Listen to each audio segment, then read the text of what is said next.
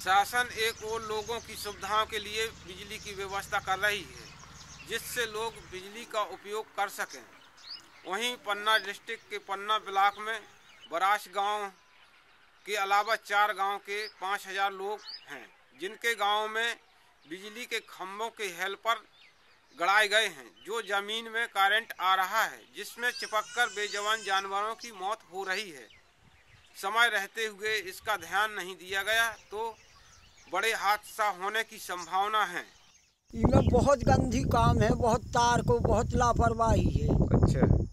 तार में इतनी कमज़ोरी है कि लेन चढ़ाते हैं सिसाई करते हैं आदमी तो उनको करंट कई आदमन को मड़ंजन में करंट लग गओ कई बराश में उ लेन में लेमारा संग उहे करंट लग गओ दोनों चीज़ है घटना वाली चीज़।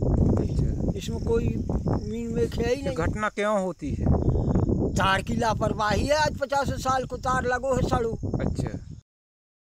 इस समस्या को लेकर विद्युत अभियंत्रा अधिकारी जी को आवेदन किया गया जिन्होंने जल्द तार दुरुस्त करने को कहा लेकिन आज तक पुराने तारों की रिपेयरिंग नहीं की गई।